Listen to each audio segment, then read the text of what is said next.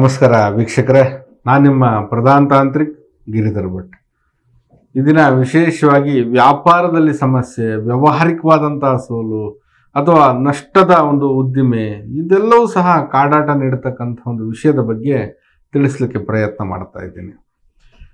ನೋಡಿ, ವ್ಯಾಪಾರ, ವ್ಯವಹಾರ ಅನ್ನೋದು ಒಂದು ಶ್ರೇಷ್ಠಕರವಾದಂತಹ ಕೆಲಸ. ತಾನು ತನ್ನ ವ್ಯಕ್ತಿ, ವ್ಯಕ್ತಿತ್ವವನ್ನು ರೂಪಿಸ್ಕೊಳ್ಳಿಕ್ಕೆ ಯಾರದೇ ಮುಲಾಜಿಲ್ಲದೆ ತನ್ನ ಸ್ವತಃ ಒಂದು ಕಾಲ ಮೇಲೆ ನಿಂತ್ಕೊಂಡು ಜೀವನ ಮಾಡತಕ್ಕಂಥದ್ದು. ಹಾಗೆ ಸಮೃದ್ಧಿಯಿಂದ, ಶಾಂತಿಯಿಂದ ಯಾವುದೇ ರೀತಿಯಾದಂಥ ಒತ್ತಡ ಇಲ್ಲದೆ ಒಂದು ಕೌಟುಂಬಿಕವಾಗಿ, ಮಾನಸಿಕವಾಗಿ ಸದೃಢತೆ ಅನ್ನೋದನ್ನ ತರುವಂಥದ್ದು ಈ ವ್ಯಾವಹಾರಿಕ ಜೀವನ ಶೈಲಿ, ವ್ಯಾಪಾರದ ಶೈಲಿ ಎಂಬುದಾಗಿ ನೋಡ್ತಿರುತ್ತೆ. ಇದು ವ್ಯಕ್ತಿಯನ್ನ ಸಂಪೂರ್ಣ ಕೆಲಸವನ್ನು ಕೆಲಸಗಾರನಾಗಿ ಕೊಡುತ್ತೆ, ಮತ್ತೊಬ್ಬರಿಗೆ ಕೆಲಸವನ್ನ ಕೊಡುತ್ತೆ. ಹಾಗೆ ಕೆಲವೊಂದು ರೀತಿಯಲ್ಲಿ ಸಂಪಾದನೆಗೆ ರಹದಾರಿಯಾಗಿರುತ್ತದೆ. ಈ ಕೆಲವು ವೇಳೆ ಏನಾಗುತ್ತೆ?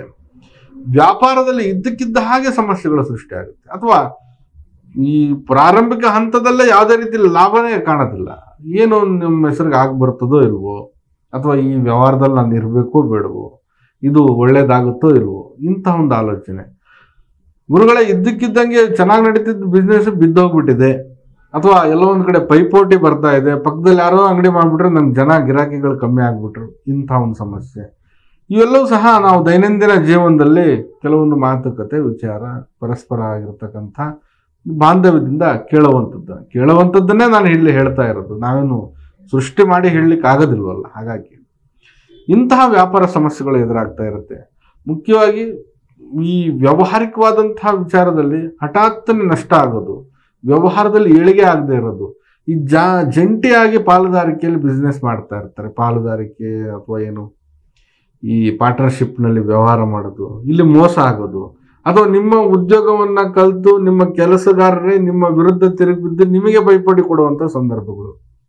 ಇದರ ಜೊತೆಗೆ ಕೆಲಸಗಾರರು ಉಳಿದೇನೆ ಆ ಜಾಗದಿಂದ ಪಲಾಯನ ಮಾಡೋದ್ರಿಂದ ನಿಮ್ಮ ಒಂದು ಏನು ವ್ಯವಹಾರಗಳು ನಿಂತ್ಕೊಳ್ಳೋದು ಅಥವಾ ಅಲ್ಲಿ ಉತ್ಪನ್ನಗಳು ಸೃಷ್ಟಿ ಆಗದೆ ಇರೋದು, ಇದರಿಂದ ಆದಾಯ ಬಿದ್ದು ಹೋಗೋದು ಇವು ಸಹ ಒಂದು ಸಮಸ್ಯೆ. ಅಥವಾ ಯಾರೋ ಹೊಸದಾಗಿ ಬಂದು ನಿಮ್ಮ ಎದುರುಗಡೆ ಮಾಡಿದ ತಕ್ಷಣ ನಿಮ್ಮ ಪೈಪೋಟಿ ಸೃಷ್ಟಿ ಆಗುತ್ತೆ, ಜನ ಬರೋದು ಜನಸಂಖ್ಯೆ ಕಮ್ಮಿ ಆಗ್ಬೋದು. ಇವೆಲ್ಲ ಹಲವಾರು ಕಾರಣಗಳಿಂದ ವ್ಯಾಪಾರದಲ್ಲಿ ನಷ್ಟ ಆಗ್ಬೋದು. ಅಥವಾ ನೀವು ಬಯಸಿದ್ದ ವ್ಯಾಪಾರ, ನೀವು ತೆಗೆದುಕೊಂಡಂಥ ನಿರ್ಧಾರಗಳು ತಪ್ಪಾಗಿದ್ರೂ ಸಹ ಸಮಸ್ಯೆಗಳಾಗ್ತದೆ. ಕೆಲವೊಮ್ಮೆ ಕೆಲವೊಮ್ಮೆ ಅನಗತ್ಯವಾದಂತಹ ಆಲೋಚನೆಗಳಿಂದ ನೀವು ಎಲ್ಲೋ ಒಂದು ಕಡೆ ಸರಿದಾರಿಗೆ ಹೋಗದೆ ಸಮಸ್ಯೆ ಮಾಡಿಕೊಳ್ಬೋದು. ಇದು ಸಹ ಒಂದು ಸಮಸ್ಯೆನೆ. ಇಂತಹ ವ್ಯಾಪಾರದಲ್ಲಿನ ಸೋಲು ಅಥವಾ ಉದ್ಯೋಗದಲ್ಲಿ ವ್ಯಾಪಾರ, ವ್ಯವಹಾರ ಕ್ಷೇತ್ರದಲ್ಲಿ ಸಮಸ್ಯೆಗಳನ್ನು ಅನುಭವಿಸ್ತಾ ಇದ್ರೆ, ಪರಿಹಾರ ನಾವು ನೋಡೋದಾದ್ರೆ ಅಭಿಷ್ಟ ಸಿದ್ಧಿ ಮಾಡಿದ ಶ್ರೀಚಕ್ರ ಕೆಲಸದ ಸ್ಥಳದಲ್ಲಿ ಪೂಜೆ ಮಾಡ್ತಕ್ಕಂಥದ್ದನ್ನು ಮಾಡಿ ಇದನ್ನ ಹೊರತುಪಡಿಸಿ ವ್ಯಾಪಾರ, ಅಭಿವೃದ್ಧಿ ಚಕ್ರಗಳು ಬರ್ತದೆ.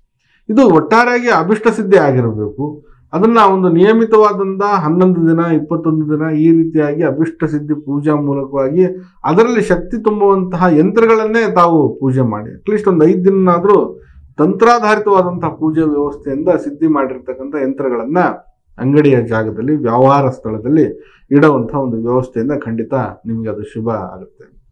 ಪ್ರತಿ ಶನಿವಾರ ದಿವಸ ಅರಳಿ ಎಲೆಯನ್ನು ತಂದು ಪೂಜಿಸಿ ಇಡೋದ್ರಿಂದ. ಅಂದರೆ ಇಲ್ಲಿ ಮುಖ್ಯವಾಗಿ ನೋಡಿ, ಶನಿವಾರದ ದಿವಸ ಅರಳಿ ಎಲೆಯನ್ನು ತರಬೇಕು. ಒಂದು ಎಲೆಯನ್ನು. ಈ ಅರಳಿ ಎಲೆ, ಎಲೆಯನ್ನು ತಂದು ಆ ಜಾಗದಲ್ಲಿಟ್ಟು ದೇವರ ಕೋಣೆ ಏನಿರ್ತದೆ ಅಥವಾ ದೇವರಿಡುವಂಥ ಸ್ಥಳದಲ್ಲಿ ಏನಿದೆ, ಅರಳಿ ಎಲೆಯನ್ನು ಪೂಜಿಸಿ. ಈ ರೀತಿಯಾಗಿ ಏಳು ಶನಿವಾರದ ದಿವಸ ಮಾಡಬೇಕು. ಒಟ್ಟಾರೆಯಾಗಿ ಏಳು ಶನಿವಾರ ಮುಗಿದ ಮೇಲೆ ಆ ಏಳು ಅರಳಿ ಎಲೆಯನ್ನು ಹರಿಯುವಂಥ ನೀರಿಗೆ ಬಿಡಿ. ಇದು ಏನಂತಂದರೆ ಟೋರ್ ಒಂದು ರೀತಿಯಲ್ಲಿ ಸಮಸ್ಯೆಗಳು ದೃಷ್ಟಿ ಅಥವಾ ಶನಿ ಸಂಬಂಧಿತವಾದಂತಹ ಬಾಧೆಗಳಾಗಿದ್ದರೆ ಈ ದೃಷ್ಟಿಕಾರಕತ್ವದಲ್ಲಿ ಕೂಡಿದ್ರೆ ಅಥವಾ ಕೆಲವೊಂದು ಕೆಟ್ಟ ಕಣ್ಣು ಪೈಪೋಟಿಗಳಿದ್ರೆ ಶಮನ ಮಾಡ್ಲಿಕ್ಕೆ ಬರತಕ್ಕಂಥ ತಂತ್ರಾಧಾರಿತವಾದಂಥ ಸರಳ ವಿಧಾನವನ್ನು ನಾನು ತಿಳಿಸ್ತಾ ಇದ್ದೀನಿ. ಏಳು ಶನಿವಾರ, ಪ್ರತಿ ಶನಿವಾರ ಒಂದೊಂದು ಅರಳೆಯಲ್ಲಿ ಹೀಗೆ ಏಳು ಎಲೆಗಳನ್ನು ಪೂಜಿಸಿ ಒಟ್ಟಾರೆಯಾಗಿ ಹರಿಯುವಂಥ ನೀರಿಗೆ ಬಿಡಿ. ತದನಂತರವಾಗಿ ಹನ್ನೊಂದು ಗೋಮತಿ ಚಕ್ರವನ್ನು ತಾವು ಕೆಂಪು ಪಟ್ಟಿಗೆಯಲ್ಲಿ ಮುಚ್ಚಿಡುವಂಥ ವ್ಯವಸ್ಥೆ ಮಾಡಿ. ಕೆಂಪುದಾದಂತಹ ವಸ್ತ್ರದ ಪೆಟ್ಟಿಗೆ ಮಾಡಿ ಅಥವಾ ಕೆಂಪು ಪೆಟ್ಟಿಗೆಯನ್ನೇ ತೆಗೆದುಕೊಳ್ಳಿ. ಅದರಲ್ಲಿ ಗೋಮತಿ ಚಕ್ರವನ್ನು ಇಟ್ಟು ಮುಚ್ಚಿಡಿ ವ್ಯಾವಹಾರಿಕ ಸ್ಥಳದಲ್ಲಿ ಇದು ನಿಮಗೆ ಲಾಭಪ್ರದವಾಗಿ ತಂದು ಕೊಡುತ್ತೆ ಎಂಬುದಾಗಿ ನಾವು ನೋಡಬಹುದಾಗಿದೆ ಹಾಗೆ ಈ ಶುಕ್ರವಾರದ ದಿವಸ ಈ ಹಸುವಿನ ಶುದ್ಧ ದೇಸಿ ತುಪ್ಪ ಎಂಬುದಾಗಿ ಹೇಳ್ತೀವಿ. ಹಸುವಿನ ತುಪ್ಪದಿಂದ ಈ ದೀಪವನ್ನ ಬೆಳಗುವಂಥದ್ದು ಮಾಡಿ. ಒಂಬತ್ತು ದೀಪವನ್ನ ಬೆಳಗ್ಗೆ. ದೇಗುಲದಲ್ಲಾದ್ರೂ ಬೆಳಗ್ಗೆ ಅಥವಾ ತಮ್ಮ ಮನೆಯಲ್ಲಾದರೂ ಬೆಳೆ, ಬೆಳಗ್ಗೆ ಶುಕ್ರವಾರದ ದಿವಸ ಅಥವಾ ವ್ಯವಹಾರ ಸ್ಥಳದಲ್ಲಾದರೂ ಮಾಡಬಹುದು.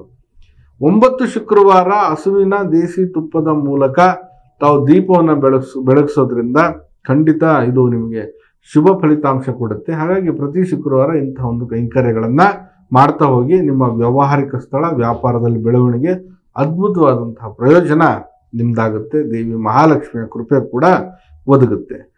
ಹಾಗೆ ನಿರಂತರವಾಗಿ ತಾವು ಗಂಗಾ ಜಲವನ್ನು ಸಿಂಪಡಿಸ್ತಾ ಇರಿ ವ್ಯಾಪಾರದ ಸ್ಥಳದಲ್ಲಿ. ನಿಮ್ಮ ವ್ಯವಹಾರ ಕ್ಷೇತ್ರ ಚಿಕ್ಕದಿರ್ಬೋದು, ದೊಡ್ಡದಾಗಿರ್ಬೋದು. ಕೆಲವೊಂದು ರೀತಿಯಾದಂತಹ ಅನುಪಯುಕ್ತವಾದಂತಹ ದೃಷ್ಟಿ ದೋಷಾದಿಗಳು ಕೆಲವರ ನಿಟ್ಟುಸಿರುಗಳಾಗಿರ್ಬೋದು, ಕೆಲವರ ಹೊಟ್ಟೆ ಗಿಜ್ಜು ಇವೆಲ್ಲವೂ ಸಹ ಅಲ್ಲಿ ನಕಾರಾತ್ಮಕತೆಯನ್ನ ಹೆಚ್ಚಾಗಿ ತಂದು ಕೊಡ್ತಾ ಇರುತ್ತೆ.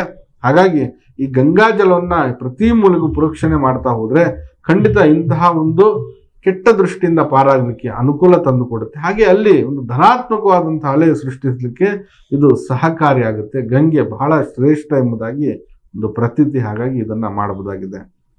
ತದನಂತರವಾಗಿ ತಾವು ನೂರ ಎಂಟು ಬಾರಿ ಪ್ರತಿನಿತ್ಯ ವ್ಯಾಪಾರದ ಸ್ಥಳದಲ್ಲಿ ಕುಳಿತುಕೊಂಡು ಈ ಮಂತ್ರವನ್ನ ಪಠನೆ ಮಾಡೋದ್ರಿಂದ ಖಂಡಿತ ಆ ದಿನದ ಒಂದು ವ್ಯವಹಾರ ಲಾಭದಾಯಕವಾಗಿ ನಡೆಯುತ್ತೆ ಎಂಬುದಾಗಿ ನಾವು ನೋಡಬಹುದಾಗಿದೆ. ಮಂತ್ರ ಸ್ವರೂಪ ಹೀಗಿದೆ. ನಮ ಕಮಲವಾಸಿನೇ ಸ್ವಾಹ. ಇಷ್ಟೇ, ಬಹಳ ಸಣ್ಣದಾದಂತಹ ಮಂತ್ರ, ನಮ ಕಮಲವಾಸಿನೇ ಸ್ವಾಹ. ಈ ಮಂತ್ರವನ್ನು ಪ್ರತಿನಿತ್ಯ ನೂರ ಎಂಟು ಬಾರಿ ಹೇಳುವಂಥ ಒಂದು ಸ್ಥಿತಿ ಇದ್ರೆ ಖಂಡಿತ ಅದು ಶುಭ ಪರಿಣಾಮ ಬೀರುತ್ತೆ. ಇದರ ಜೊತೆಗೆ ಕೆಲವೊಂದು ತಂತ್ರದ ಅಥವಾ ಬೇರೆ ರೀತಿಯಾದಂಥ ಸಮಸ್ಯೆಗಳು ಸಹ ಆಗಿರಲಿಕ್ಕೆ ಸಾಧ್ಯತೆ ಉಂಟಾಗಿರುತ್ತೆ. ಅಥವಾ ಹಠಾತ್ತನೆ ಉದ್ಯೋಗ ಬಿದ್ದೋದ್ರೆ ಅಥವಾ ಉದ್ಯೋಗದಲ್ಲೇ ಏಳಿಗೆ ಆಗ್ತಾ ಇಲ್ಲ ಅಂದರೆ ತಂತ್ರಾಧಾರಿತವಾದಂಥ ಒಂದು ಪರಿಹಾರಗಳು ಸಹ ಇರುತ್ತದೆ ಅದರ ಬಗ್ಗೆ ಸಮಾಲೋಚನೆ ಮಾಡಬಹುದಾಗಿದೆ ಖಂಡಿತ ಈ ಇಷ್ಟು ಪರಿಹಾರಗಳನ್ನು ತಾವು ಮನನ ಮಾಡಿ ಇದರ ನಿಟ್ಟಿನಲ್ಲಿ ಸಾಗಿ ನಿಮ್ಮ ವ್ಯಾವಹಾರಿಕ ಕ್ಷೇತ್ರ ಅದ್ಭುತವಾಗಿ ಬೆಳಿಲಿ ಎಂಬುದರ ಒಂದು ಸದುದ್ದೇಶದಿಂದ ಈ ಮಾಹಿತಿಯನ್ನು ಹಂಚಿಕೊಳ್ತಾ ಇದ್ದೀನಿ. ಎಲ್ರಿಗೂ ಸಹ ಶುಭವಾಗಲಿ ಒಳಿತಾಗಲಿ. ನಮಸ್ಕಾರ.